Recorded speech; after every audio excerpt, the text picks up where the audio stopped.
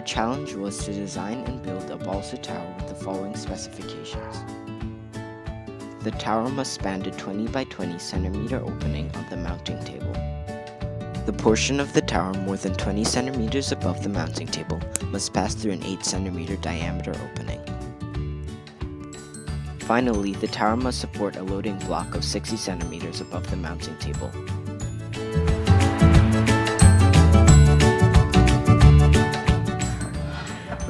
Base is 18 centimeters and the base of the tower is 20 centimeters. The prototypes help to reduce the mistakes and shows how long to make to each side.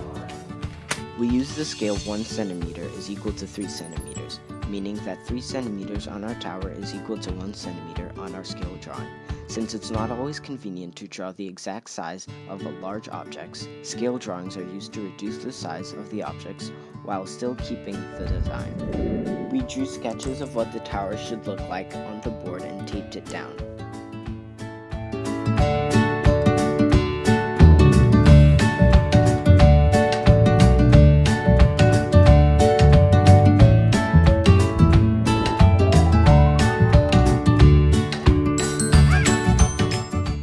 Then measured and cut sticks to fit our drawing.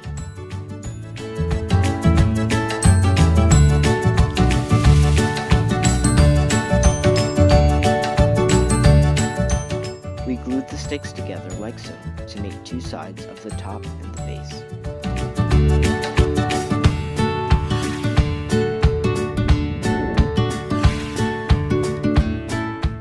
Then we attach these sides.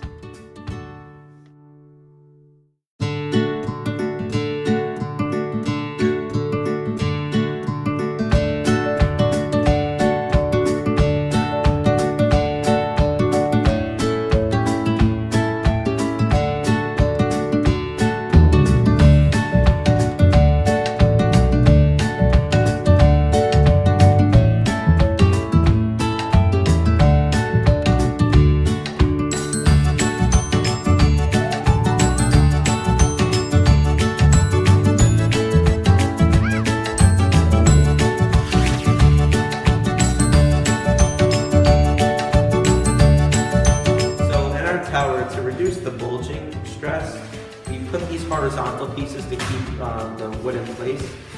We also use diagonal pieces of wood to prevent twisting or swaying of the tower. Um, an important feature of this tower is these spacer pieces here. Basically, they make it so there's less of a gap between the wood so the glue gets a better bond.